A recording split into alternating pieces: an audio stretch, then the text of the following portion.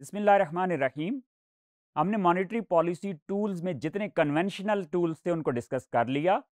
अब ये लेक्चर से हम स्टार्ट करने लगे हैं जो नॉन कन्वेंशनल टूल्स हैं। नॉन कन्वेंशनल टूल्स में एक बात पहले क्लियर कर दूँ कि ये ऐसे टूल्स हैं जो पाकिस्तान में आपको इसकी एग्ज़ाम्पल नहीं मिलेगी, क्योंकि ये फाइनेंशियल क्राइसिस के वक्त के टूल्स हैं जो कि पाकिस्तान में ऐसा हिस्टोरिकली हुआ नहीं है। लेकिन ये हमें पढ़ना इसलिए ज़रूरी है कि ऐसा दुनिया में हो चुका है तो किसी मुल्क में किसी वक्त भी हो सकता है। तो इसका नॉलेज ज़रूरी है। अब सबसे पहला पॉइंट यह है कि नॉन कन्वेंशनल टूल्स की ज़रूरत क्यों पड़ती है? देखें, जो नॉर्मल टाइम्स होते हैं, उस वक्त तो आप कन्वेंशनल टूल्स यूज़ कर रहे होते हैं। जैसे ओएमओ कर लें डिस्काउंट रेट कर लें रिज़र्व रिक्वायरमेंट चेंज कर लें इंटरेस्ट ऑन रिज़र्व चेंज कर लें। लेकिन जब फाइनेंशियल क्राइसिस की सिचुएशन आ जाती है तो ये सारे टूल्स इनफेक्टिव हो जाते हैं। तो फिर नॉन कन्वेंशनल टूल्स यूज़ करने पड़ते हैं, क्योंकि कन्वेंशनल टूल्स इनफेक्टिव होते हैं। अब सवाल पैदा होगा कि कन्वेंशनल टूल्स इनफेक्टिव क्यों हो जाते हैं?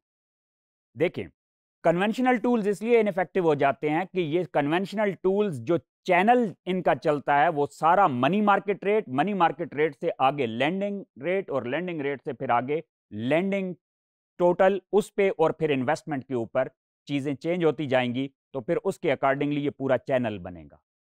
लेकिन जब फाइनेंशियल क्राइसिस की सिचुएशन होती है तो ये सारा सिस्टम कोलैप्स कर जाता है।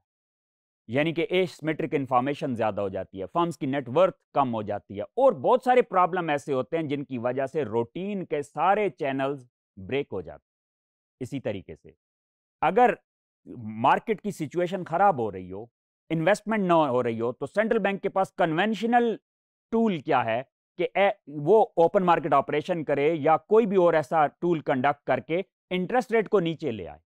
अब इंटरेस्ट रेट फाइनेंशियल क्राइसिस में ऑलरेडी ज़ीरो हो चुका होता है या ज़ीरो के करीब चला जाता है तो सेंट्रल बैंक के पास ऑप्शन ही नहीं है कि वो कन्वेंशनल टूल यूज़ करके इंटरेस्ट रेट और कम करे।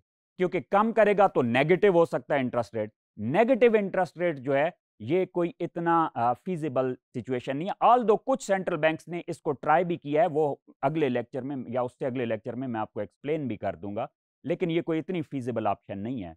तो बहरहाल नॉन कन्वेंशनल टूल्स जो हैं, फिर सेंट्रल बैंक को यूज़ करने पड़ते हैं।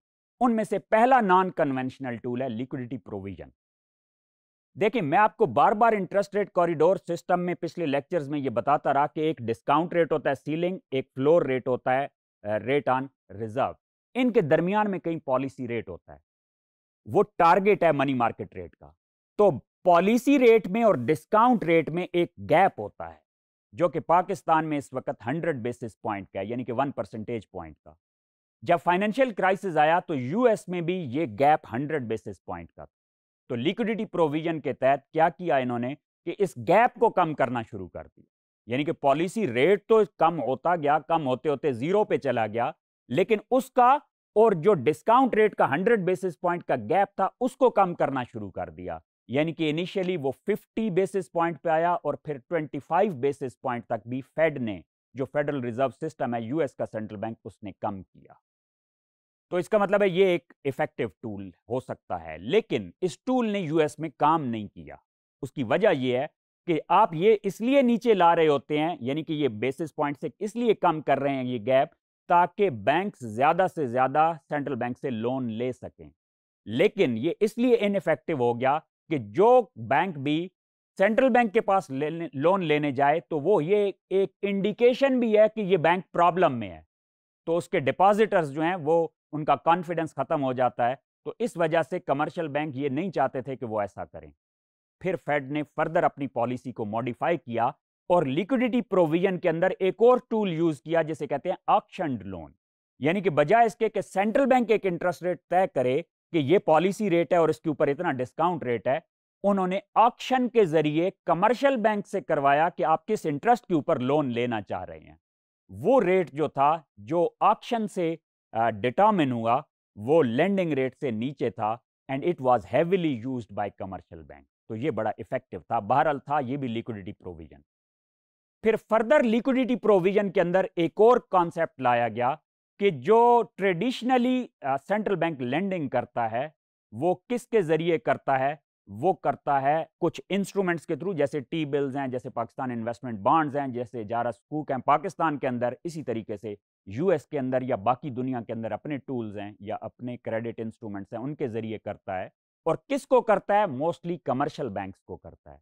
तो वहाँ ये उन्होंने टूल यूज़ किया कि कमर्शियल बैंक से हटके इन्वेस्टमेंट बैंक्स को भी लेंडिंग करना स्टार्ट कर दी और उससे भी लेंडिंग ज़्यादा हो गई और ये टूल भी किसी हद तक इफ़ेक्टिव रहा। Thank you